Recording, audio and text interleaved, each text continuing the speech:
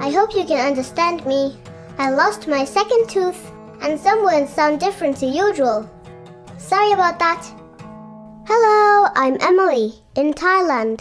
Our friend Cho is staying with us in Bangkok this weekend. Cho is an elephant mahout and writes and sings his own songs.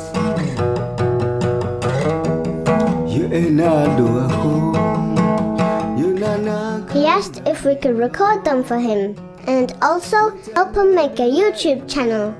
We said we'd love to.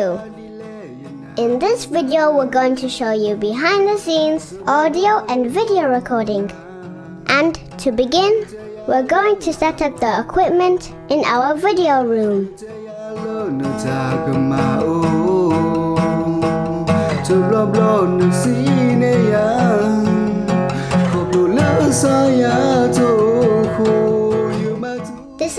Mic by Apogee.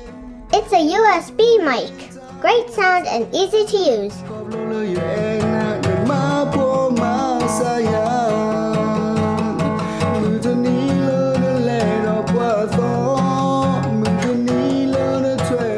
And a couple of soft boxes with bulbs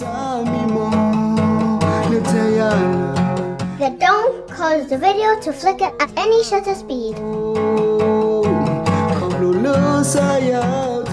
A little verse. Sometimes we do stuff. Sometimes we film the stuff we do. Sometimes we film ourselves filming stuff so we can share it with you. I love the rainbow colors of the new iMac. At the back, there are four USB ports. It's USB 4. Two are Thunderbolt. You can still use your old cables with adapters. We use daylight bulbs and they don't get hot.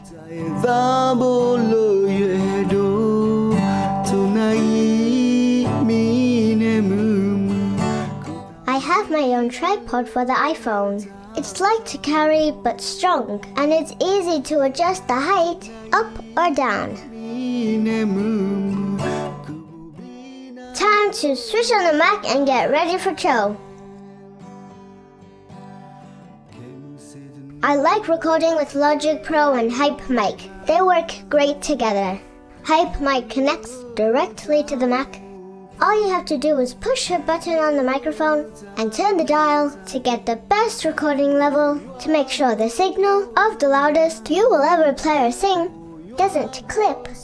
I can test this by myself, more or less, and make level adjustments on Hype Mic when Cho sits down later to play. I think we're ready for Cho.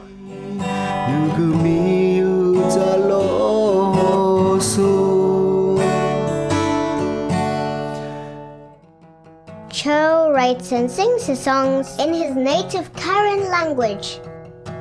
I can't speak Karen, but we seem to understand each other very well without words. I moved Hype Mic around a bit to find the right balance to record voice and guitar at the same time. The new iPhone 13 Pro makes video easy and look beautiful. You can shoot video in wide angle or zoom really close and see everything clearly as the screen is bigger than most professional video cameras. We can mix close-ups with wide shots in the final video, filming with a number of cameras at the same time. We can balance the different colors in Final Cut Pro, so the various clips join together smoothly. The new Mac is not that heavy so we can move it room to room.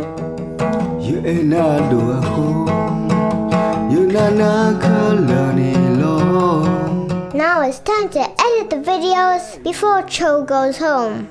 I like working in my art room best.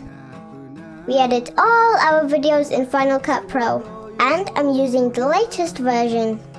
You can do all sorts of magical things with iPhone Cinematic Video with Final Cut Pro. We've already imported all Cho's video clips from different cameras, and I'm layering them one on top of another.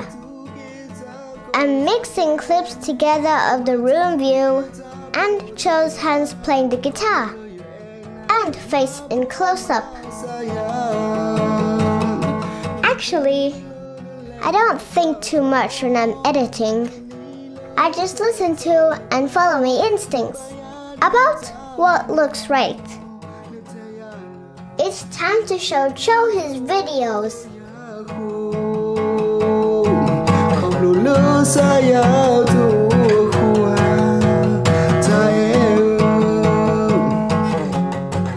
My dad made a video channel for Cho songs. We've uploaded his first four videos. Cho wanted to see what the video clips look like in Final Cut Pro. We've opened the projects on our other Mac. I hope Cho keeps writing his songs and will keep coming back to Bangkok so I can record them for his new channel in the future. It's time for my friend Cho to catch the train and head home to the countryside again to look after his elephant. We had a great musical weekend recording songs together. It was so much fun. And thank you for watching our video.